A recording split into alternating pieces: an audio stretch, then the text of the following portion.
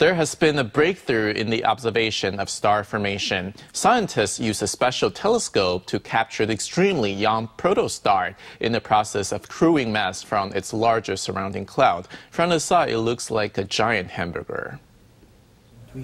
The protostellar system HH212 is located in the Orion constellation and estimated to be 40,000 years old. In contrast, the Sun is around 4.6 billion years old. An Academia Sinica Institute of Astronomy and Astrophysics team recently found an early stage accretion disk with a radius of 60 astronomical units in the system. From the side, it looks like a dust eating hamburger. Astronomers around the world have been searching for early stage accretion disks for years to learn more about star formation and the accretion process.